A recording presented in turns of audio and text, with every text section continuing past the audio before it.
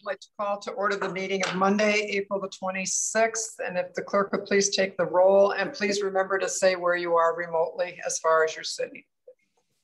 Councilmember Archibald. Here, Port Huron. Councilmember Ashford. Present, Port Huron. Councilmember Lamb. Here, Port Huron.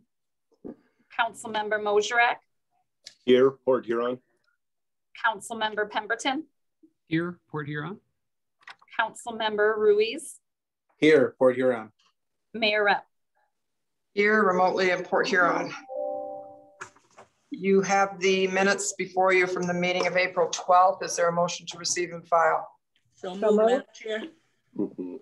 Uh, we have a motion by Councilmember Ashford, supported by Mayor Pro Tem Archibald. Is there any changes to the minutes? All those in favor, please signify by saying aye. Aye. Aye. Any opposed? The minutes will stand as submitted. We'll go right into public comment. Uh, this is the time if there's anyone out there that uh, would like to speak under public comment, then they need to give their name and they have four minutes to speak. Um, could someone let me know if there's anyone out there waiting? We have no one. Oh, we have one. No. Hand, we have one hand. Uh, one hand raised from Andrew Kircher from the museum. Okay, then Andrew, are you on there? Yes, hello, can you hear me? Yes, could you just give us your name and, uh, and Certainly. uh, you have four minutes. Certainly, uh, Andrew Kircher from uh, the uh, museum. I live at 1815 Military, just a few blocks away from that. Um, I don't plan on using my whole full my full four minutes, but uh, I just wanted to um, thank all of you for uh, considering on the agenda the uh, funding for the Huron Lightship. Uh, obviously, I think that's pretty important for our community, and I just wanted to uh, say how excited we are at the museum to be able to get that reopened and share that with not only the people who live here in the Blue Water area, but people from, frankly, all over the country and hopefully someday soon internationally again, uh, visiting the area. And what a lot of people might not realize is that the Huron Lightship is actually 100 years old this year and that it's a National Historic Landmark. So something that we should be really proud to have in our community. There's only about there's about 90,000 things listed on the National Register of Historic Places, and only about 2,500 of those are National Historic Landmarks. That's only like 3%. And it's right up there with Independence Hall or the St. Louis Arch, these things that we think of as, as pure Americana. It's given that same level of recognition. So it's uh, a real boon for our community. I think uh, in some ways it was a blessing in disguise last year when it was damaged. A lot of people realized um, just how vulnerable it was. And this repair work um, is going to be, you know, something important, keeping it around for another 50 years where it is. It's been a museum for 50 years. It was operating for 50 years. And it's cool to be able to celebrate 100th anniversary of something like that. And like I said, at uh, us museum, we're very excited to get that open along with the rest of our sites and share that with um, the community and all the people who come to visit us. Thank you. Is there anyone else that's out there?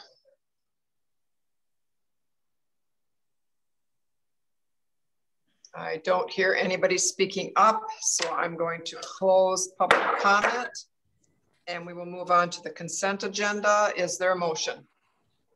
So moved. Uh, Councilmember Ashford, supported by Councilmember Pemberton, or was that Councilmember Lamb? That was, uh, I just had, I just Pemberton. want. Okay. Go ahead. Oh, number six and eight removed.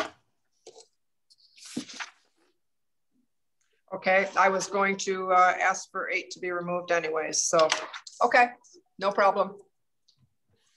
Then we do still have some on the consent agenda, so only, actually, we only have one other one on the consent agenda, but we already do have a motion, so we will take the vote.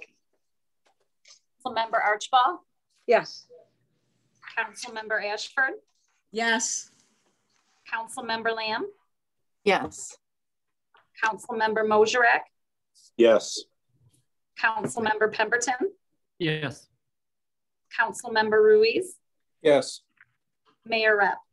Yes, um, the only item on the consent agenda then was receiving the proposed 2021-22 Downtown Development Authority budget and scheduling a public hearing for May the 10th to hear public comments from interested citizens on the proposed budget. And so we will move on to, from the city manager, number one. Accepting the quote from Apollo Fire Equipment Company in the amount of $60,653 for the purchase of pneumatic lift bags and rescue cushions for use by the fire department. Is there a motion? So moved. Support. I think uh, Mayor Pro Tem Archibald, supported by Councilmember Mosherak, got in there first. Um, is there any discussion? Madam Mayor, Chief Nicholson included a pretty lengthy packet with Yes. pictures and photos. Uh, this will be about a 15-year lifespan to replace our existing airbags. Uh, we don't use them often, but when we do, it's a very critical situation. Um, we're also one of the uh, few fire departments in the entire county that have this capability. So we're kind of the big brother every other agency in the county looks up to for this uh, resource. Uh, so we'll be replacing that. You can affect a capitalization and depreciation schedule of about 15 years on this purchase. Any questions for Mr. Freed? Yeah, Mayor. Mayor, Councilmember Mosherak? Hey, James, I'm just curious, do you know, or maybe Chief might know, is there a life expectancy on those? Do we replace them after so long because they are just wore out or we can't rely on them or what, how often? So the manufacturer recommends 15 years, uh, but the ones we have now are about 15 years and they're already starting to see leaks and failures. Okay, And I think if you the memo, uh, Chief Nicholson attached a memo as well where it notes some of those seam issues. okay. Anyone else have any questions, discussion? yeah, Uh, how Mayor Oh, I've got two here. Councilmember uh, Go ahead, Ashford. Lamb. Oh, no, No, Ashford, you spoke up first. So go oh, ahead. oh, Okay, how many do we have currently? Um, I can let Chief Nicholson, he's on, he can address that for you. We'll see. Chief, can you uh, unmute yourself? There we go. Hello, uh, this is Chief Nicholson. Uh, Mayor and Council, uh, this purchase request will replace the entirety of our medium pressure air cushions, uh, which we have a count of four, and the majority of our high pressure lift bags, which the count is 17. Uh, we replaced a handful of the high pressure bags uh, back in 2018 but this uh, remaining inventory uh, does expire as far as the manufacturer's recommendations at the 15 year mark, plus the deficiencies we've noted. Uh, so you'll see this count, it'll get spread amongst uh, the command vehicle chief two, the frontline engine at central station and our trench rescue trailer. So these get spread amongst uh, a handful of uh, apparatus uh, for a variety of responses. Okay, and how often do we use the other ones, uh, Chief? We tend we tend to use the high pressure lift bags a bit more, uh, just because they uh, lend themselves to, to uh, small spaces.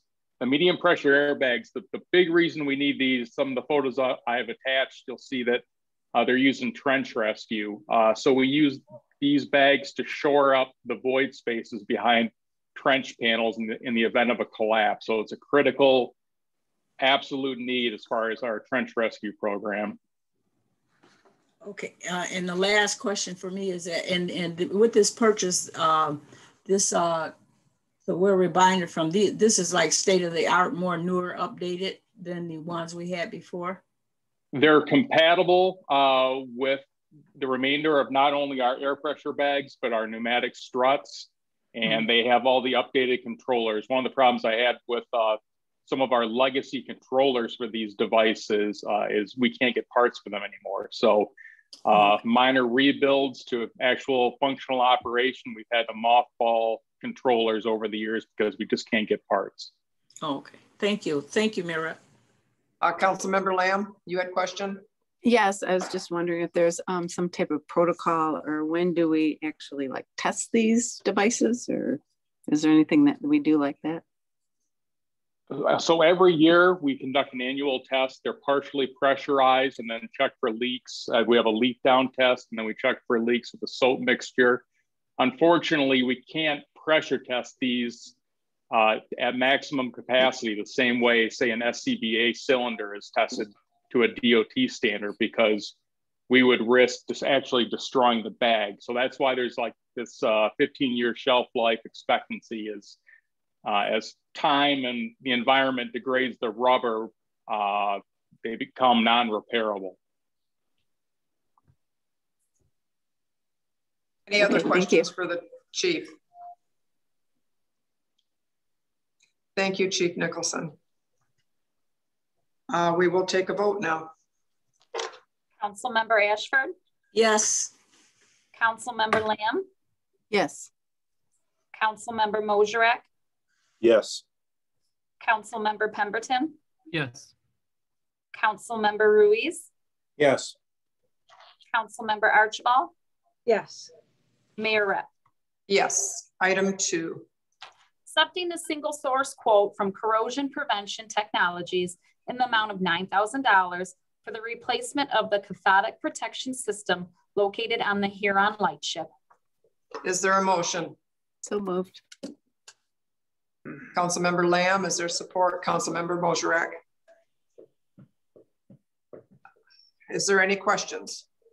Madam Mayor, just point out that we did make a decision here to repair the wires is about a thousand dollars, but that would only get us maybe a few more years left in that system. And then we would need to go do a full uh, cathodic protection replacement.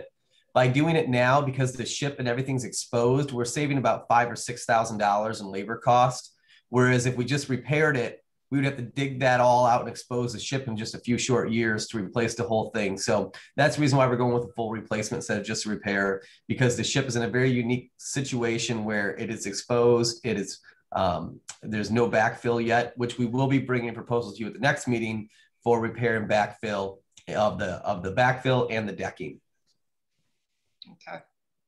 We do Any, own. que any questions for Mr. Freed? Uh, yeah, uh, James, yeah, uh, I know Andrew had actually contacted all our council members before on the condition of the, uh, light, uh, of the, uh, of this concern right here. Will this complete all of that, um, uh, issues that they had with that? I don't know because Andrew hasn't reached out to the city administration on this. So I'd like to hear from Andrew and his list before I can comment on that. I haven't seen the list. Uh-huh. Okay. No, I think you did comment. I had it in my notes that uh, when he was calling us about the the the, the that, that that is what is before us tonight. I, would uh, encourage, I would encourage Andrew to go through the museum director, uh, the city manager's office on those types of requests because I have not been briefed on that.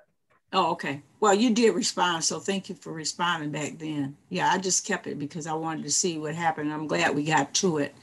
Uh, to it. I just wanted to make sure if, if this was it as far as that particular uh, concern was brought before us. So thank you. I believe he reached out quite some time ago. It was not Yeah. recent. It was No, I didn't. I didn't ago. say. Re- Yeah. yeah. I didn't say recent. I said before. Yeah, Yeah, I just yeah. at my notes. Yeah, that's But all it- I was asking. Yeah. I'll Is look there at any other questions or comments? We'll take the vote. Councilmember Lamb, Yes. Councilmember Mosierek, Yes. Councilmember Pemberton, Yes. Councilmember Ruiz, Yes. Councilmember Archibald, Yes. Councilmember Ashford, Yes.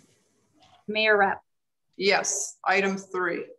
accepting the quote from Michigan Police Equipment in the amount of eighty thousand three hundred eighty-seven dollars and fifty-five cents for the purchase of new firearms and equipment.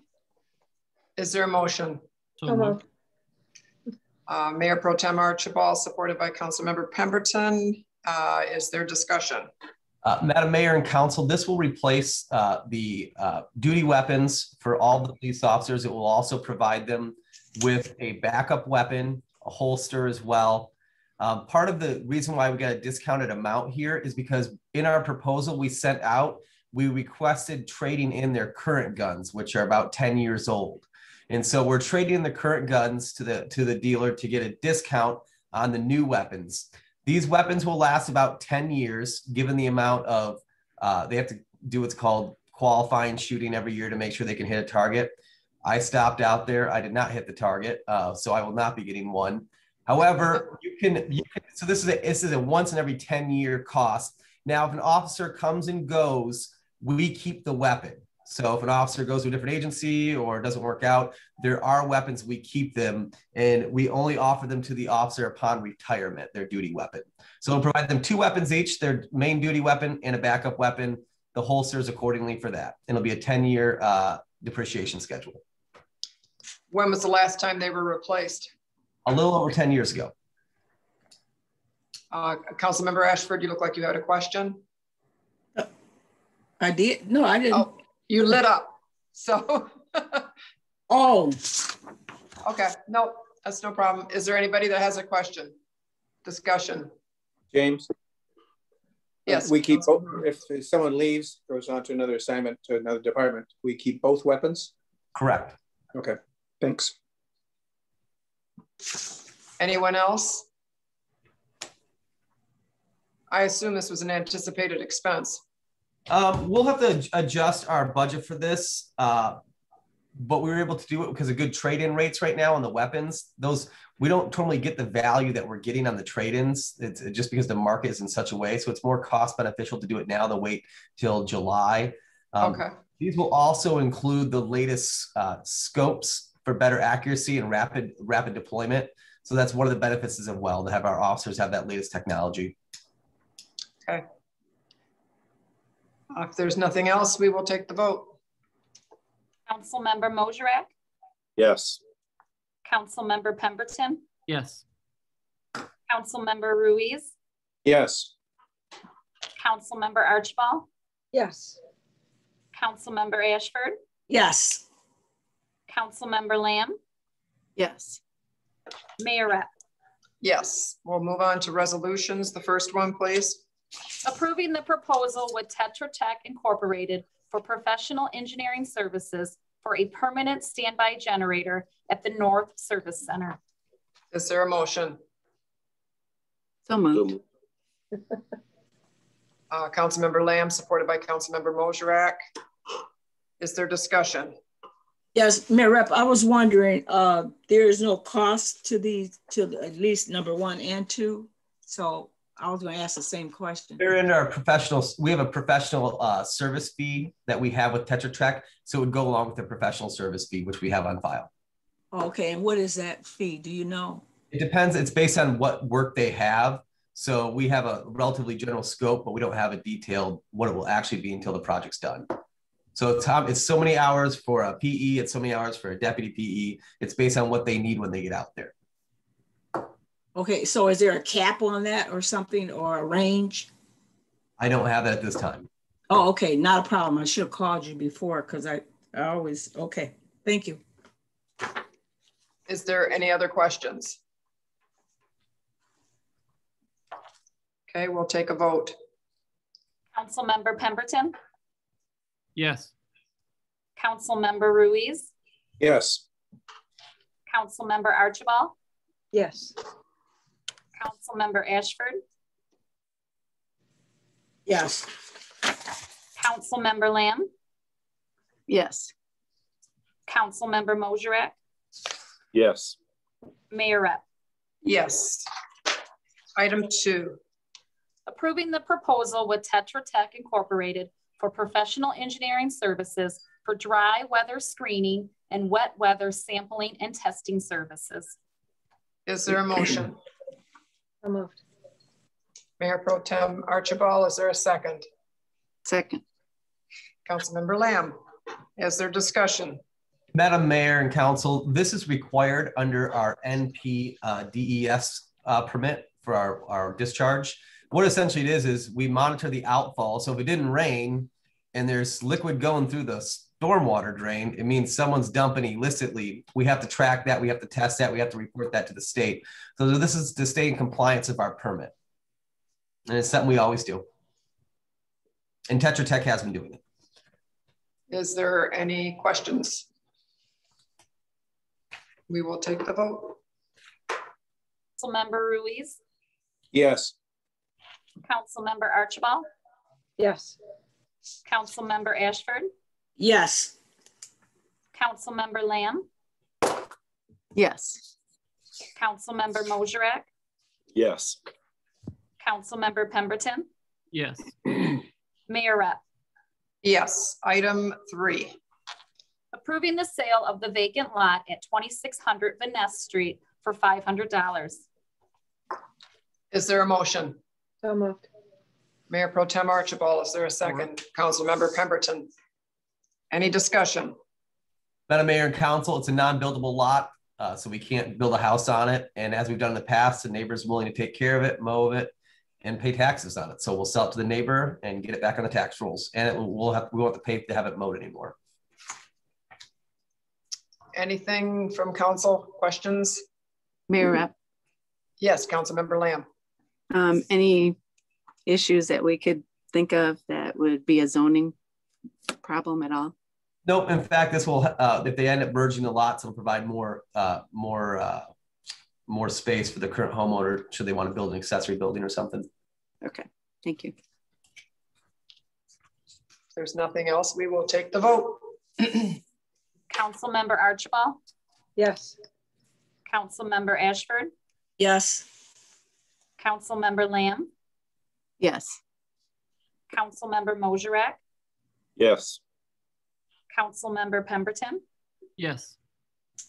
Councilmember Ruiz, Yes. Mayor Repp. Yes. Item four. Authorizing reimbursement of expenses from bond proceeds. Is there a motion? so moved. Councilmember Mosrak, supported by Councilmember Lamb. I wonder, James, if you could give a little explanation just for the record, please. We are not actually, you're not actually um, authorizing me to go borrow money or anything like that. What we're doing is we're putting out notice that should we want to bond for water upgrades in the next uh, couple years, that we're able to reimburse ourselves for projects this year and projects we've already done. So, meaning you can reach back 18 months into the past and bond out those projects and reimburse yourself with bond proceeds if we believe that financing is in the best cost benefit analysis for certain projects. So, we're still in the middle of that analysis, but if we don't pass this resolution, then that 18 month window begins to slide and projects fall off that can't be refinanced. So it essentially allows us to start that clock that should we decide that financing some of these larger capital projects at the water plant and the water water stations that we can do that. We haven't come to a recommendation for council yet, um, but we'll bring that in the coming months. So really, you're just starting the clock. You're not authorizing the issuance of bonds or borrowing or anything like that. Okay. We Any did- questions from anybody on council? We did this similar to the sewer uh, work back in February, March, I believe. You did, you did an identical one for sewer. Okay. Any questions? We will take the vote. Councilmember Ashford, Yes. Councilmember Lamb, Yes, Councilmember Mosherak, Yes. Councilmember Pemberton, Yes. Councilmember Ruiz, Yes. Councilmember Archibald, Yes. Mayor Repp. Yes. Item five. Receiving the proposed 2021-22 budget and scheduling a public hearing for May 10th, 2021 to hear public comments from interested citizens on the proposed budget. Is there a motion? so moved. Support. Councilmember Lamb, supported by Councilmember Pemberton. Do you want to give us a brief uh, overview? James? Yes, absolutely. So before you, I have fulfilled my constitutional and charter obligation to the city manager's office to bring you forth a balanced budget. Um, this, this budget is balanced um, while funding necessary capital, protecting city services uh, and programming, um, specifically, specifically investments into our streets, investments into our water and sewer, investments into our recreation facilities, into our, our police and fire. Um, I have said this before, this would not be possible without three important components. One, the strong leadership of the mayor and council on some very difficult decisions you've made. Two, the tremendous sacrifice of our employees over the last 10 years and understanding. We closed our pension systems, we reduced our, our benefits, we were able to reduce our unfunded liability costs, we were able to refinance those unfunded liability costs for a savings of more than $40 million. We're seeing those savings in this annual budget. And the third component was the support of the taxpayer support Huron.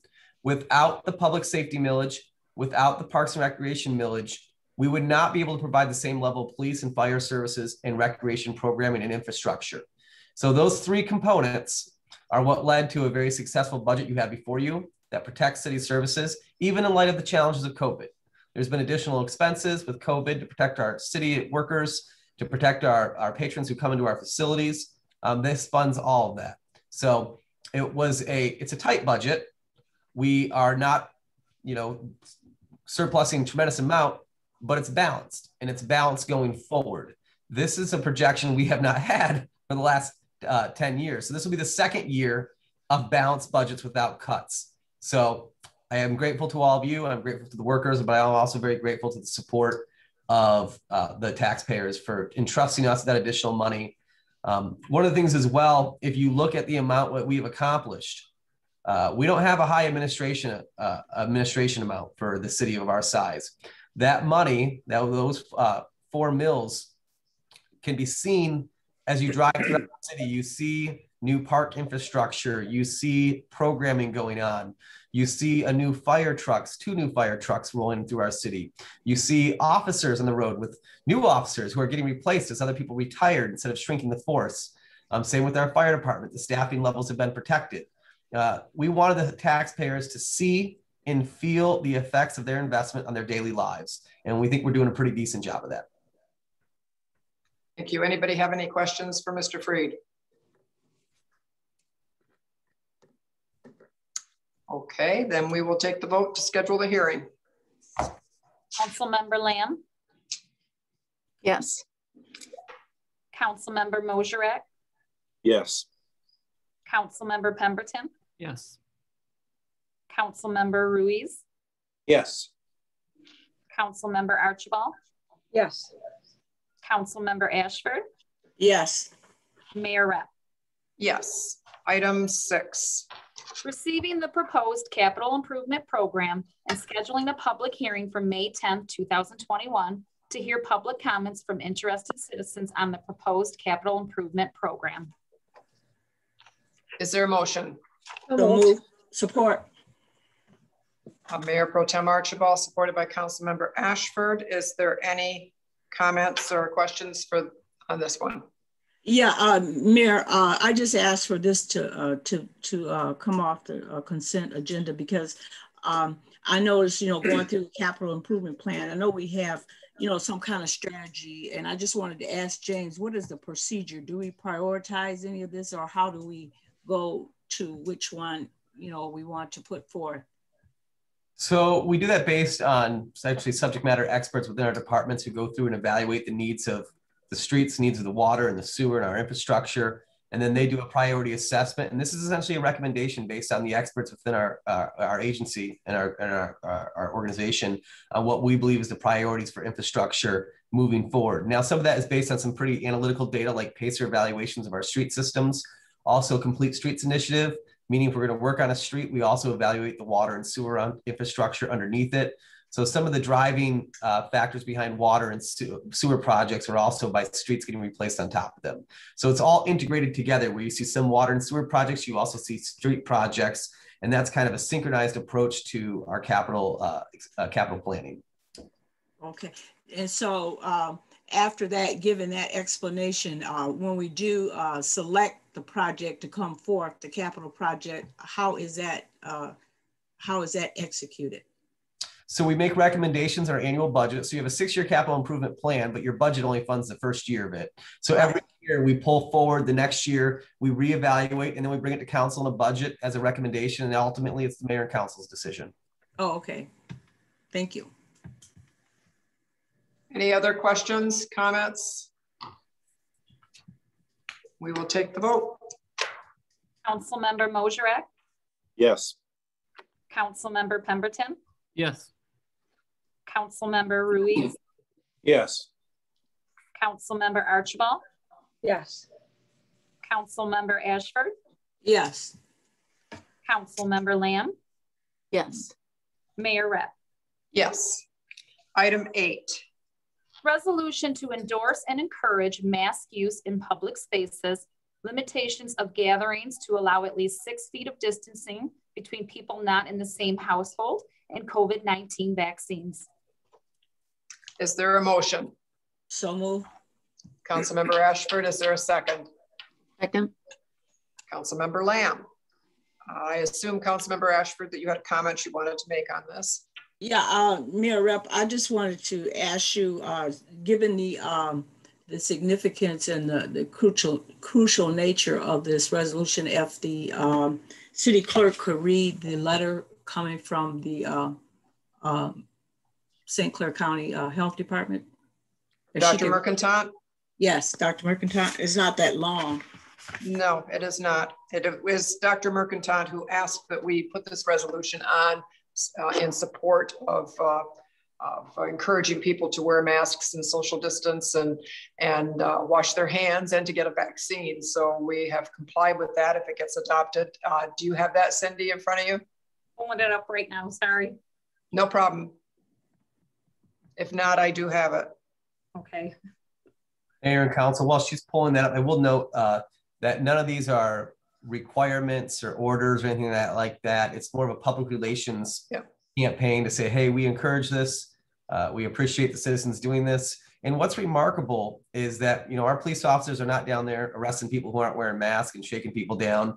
And we see tremendous compliance throughout our city. So I applaud our residents on that for doing uh, their part. Uh, especially within our city building, we see people come in with masks on. It's very rare when someone doesn't come in with a mask on. Uh, so we really are appreciative of that. I would also note as well that there is a walk-in vaccine clinic at the SC4 Field House, I believe on Wednesday um, in the city of Port Huron. So for those who want their vaccine, they can just walk in and get it.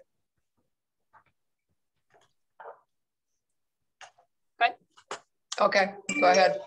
Whereas the SARS-CoV-2 transmission has resulted in several waves of disease. I don't mean to interrupt you, but I think she wants the, the letter. Oh, the letter, oh, I'm sorry. Sorry. Okay. One of the most important responsibilities ensconced in the Michigan Public Health Code Act 368 of 1978 is for local public health to inform and protect the public health. As such, it is our duty to inform you of the dire threat of the SARS-CoV-2 virus and the profound impact it is having on the health and safety of our community. St. Clair County has had one of the most alarming rates of COVID-19 cases in the nation, resulting in lost workforce, suffering, and death. Likewise, it is our duty to suggest to you that this crisis is not going to stop unless dedicated and deliberate actions are taken by the majority of our citizens. We know that there is a diminishing response of voluntary compliance with people as the pandemic wears on, and yet our very lives depend on this. There is no amount of orders or laws that can create the type of response we need to control this virus. It needs to come from the conscience decisions of willingness of the people. In addition, opinion leaders like yourself can heavily influence this willingness. We respectfully request a public resolution from the Port Huron City Council that endorses and encourages one, mask use in public spaces, two, limitations of gathering to allow at least six feet of distancing between people not in the same household, and three, COVID-19 vaccines. Your personal and professional endorsement will go a long way to help us win this battle against COVID-19 and make the most of the positive impact you have on our community. I'd be happy to meet with you in any capacity to discuss concerns or issues you may have. Thank you in advance for your cooperation. So then the resolution that's before us is, uh, is, is uh, actually what she asked for. So Mhm. Thank you. Thank you, Cindy, for You're reading that. welcome. is there any other discussion on this? I did notice that uh, one good piece of news is that uh, although it hasn't dropped tremendously, it is dropping in the last three reports that the county has put out and the state of Michigan's put out, is that the rate of uh, uh, positive rate is going down across the state and in St. Clair County. So that's good news. Just needs to go down more and more people need to get vaccines. So Right. we will take the vote. Councilmember Pemberton, Yes. Councilmember Ruiz, Yes. Councilmember Archibald, Yes. Councilmember Ashford, Yes, Councilmember Lamb, Yes. Councilmember Mosharek, Yes. Mayor Repp. Yes. We'll move on to ordinances number one. Second reading and enactment.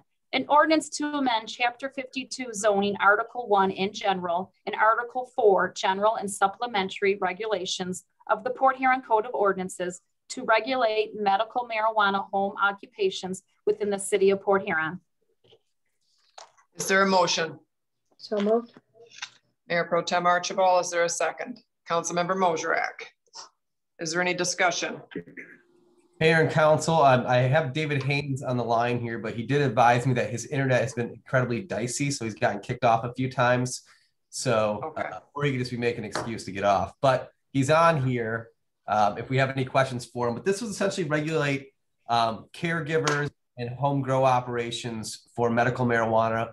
Right now, um, we have nothing in place. We have people who are retrofitting homes without any inspection, who are uh, essentially skirting the law by saying we have each bedroom is a caregiver, but all four bedrooms are different caregivers. So there's hundreds of plants in a single family home, creating odor issues and problems in the neighborhood. And this just allows us to put reasonable measures in place uh, to make sure that we have uh, safety in these homes and in these in these facilities, but also not become a nuisance to the neighbors, which we've had, as I'm sure some of you have heard as well. We've had some very serious complaints from people, and before this, we there's nothing we could do, but now we can have a little bit of uh, room to to enforce uh, code violations and, and noise and noise and odor violations as well.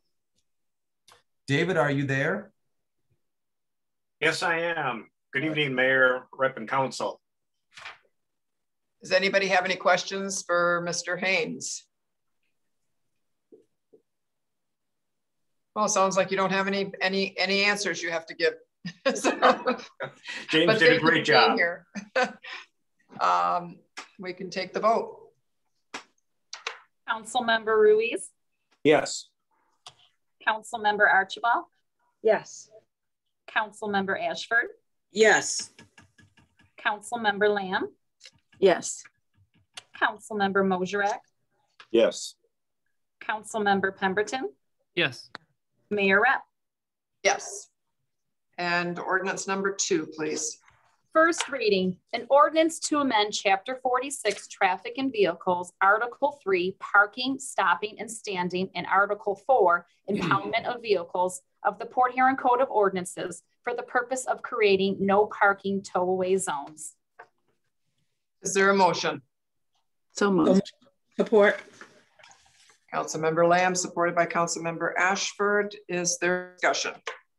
Madam Mayor and Council, um, we're rational people. We're nice people here in the city of Port Huron.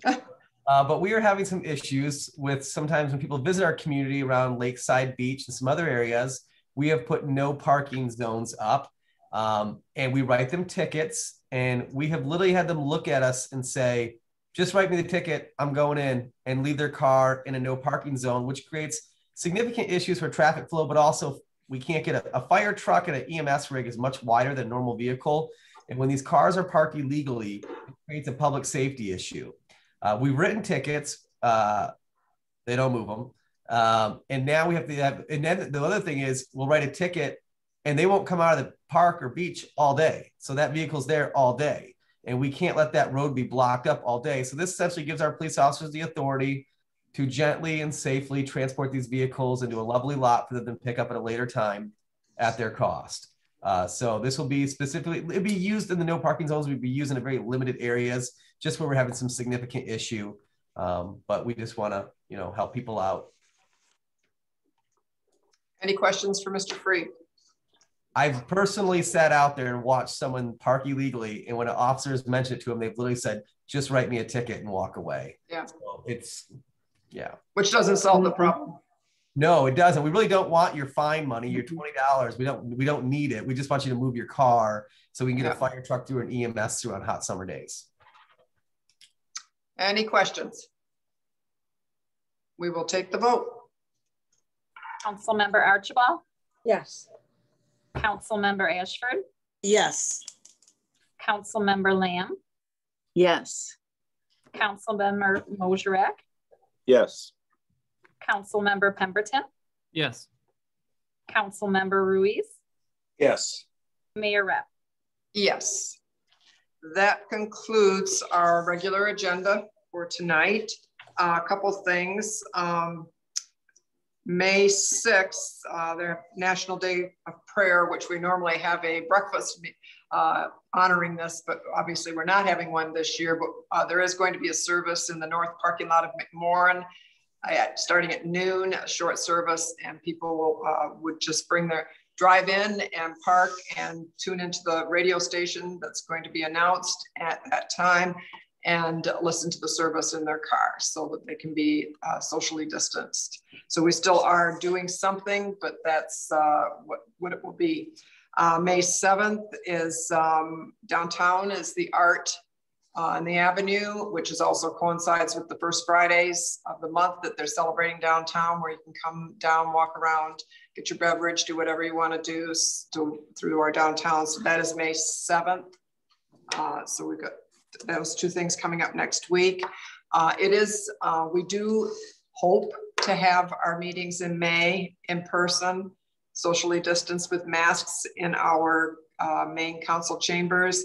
So at this point, we are looking toward May 10th, regular council meeting being in the council chambers. Of course, I have to say subject to change. Assuming things continue as they are, we, uh, we are hoping to, to meet back in person again. So um, then we will also have our workshop that same week for our budget, and then that would also be in person. All this, of course, like I said, is subject to change based on the conditions in the community at that time. So certainly we will uh, give plenty of notice if it changes. And is there anything else from the council that they'd like to mention before we adjourn the meeting? Madam Mayor and Council, I would just inform you all that the canal dredging has begun.